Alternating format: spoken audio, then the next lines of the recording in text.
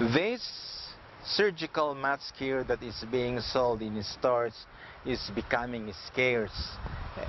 And even if we have one also, if the handle is busted like this, then we won't have anything to use. So what shall we do? We will have to improvise by using our own handkerchief. But first, we have to learn how to tie it. And that's uh, our lesson for today. Hi, this is Efren again, sharing with you his experiences as a stroke survivor with regard to how he improved his uh, fingers um, after they were paralyzed by stroke. Hoping that when you see this one here, um, I hope that you will be inspired to start your own recovery so that you will join uh, society as a normal being.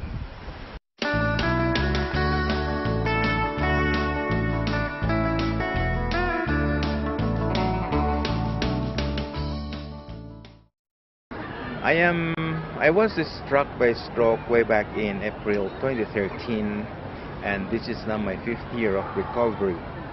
And I'm happy to share with you today one of the skills I practiced to get my uh, uh, mobility back. And this one deals with the dexterity of the hands oh, especially the weak hands to turn things or to help uh, uh, perform things together with the strong hand. Actually, this will be a result of uh, the pinching power of the weak hand, uh, pinching power of the string, uh, these fingers, and its ability to move or the ability of the wrist to move uh, or to twist around here. So I'll show you how to make a, an, an overhand knot. We need this kind of skill, especially um, when we want our materials to be in uh, in one uh, place or in one order. Okay, so here it is. Uh, we can do it single uh, single thread or we can do it double, but nevertheless, let's do it single thread. Okay, so with this position here this end here held by the weak hand and this one held by the strong hand either way we will now make a loop. Okay so the the weak hand will go over the strong hand. Okay there. So there is the loop there is the connection. We have to make it this way. So this one is above this uh, other one here there. And then we get this other end here and place it inside here. We place it we will get it there place it inside the loop. And there we have our first overhand knot this can tie but uh, at times it may not be enough to tie things okay?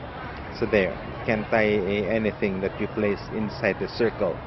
There um, but there is a lock for this which uh, you can also use to tighten your material so that it will not scatter. So make another overhand knot again place the uh, other end on top of the one on the left hand. Place it there and then place the end of the the yeah the other end of the one in the right hand inside the loop.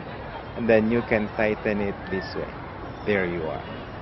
So this is the way of making uh, what you call here a an overhand knot so we repeat that for slow motion. So here we go. There. There. Hold it there. Then place this one over here. There okay. So it came out. Place another overhand knot there. There. So you have a very tight overhand knot especially when you uh, pull both ends together. You will need a knife to open it up or untie it later on. Now uh, you want to protect yourself from uh, COVID-9, uh, which is the most, uh, what you call this one here, the most uh, talked about uh, scare today. So if you did not bring a mask, you can use this as your mask. So again, you just place this one over your nose and then, then you see there you got the back.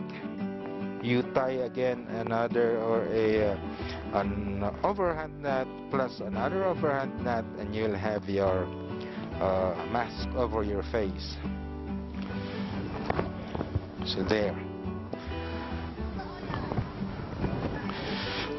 Here comes the other overhead knot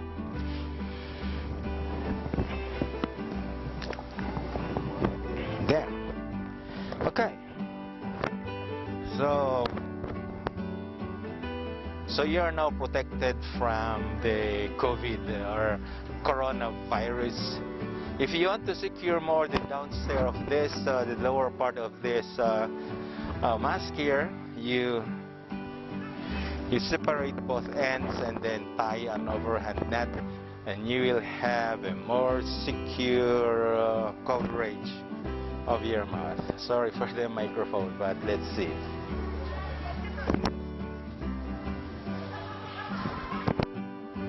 there you go so here we go over and under then we pull. There you go. So you have a, uh, a very good uh, mask here that will prevent you from breathing any droplets from anywhere else. So you can use this as your uh, mask going around. Thank you for watching and share this video to anyone who needs it. I'll be seeing you in the next uh, video.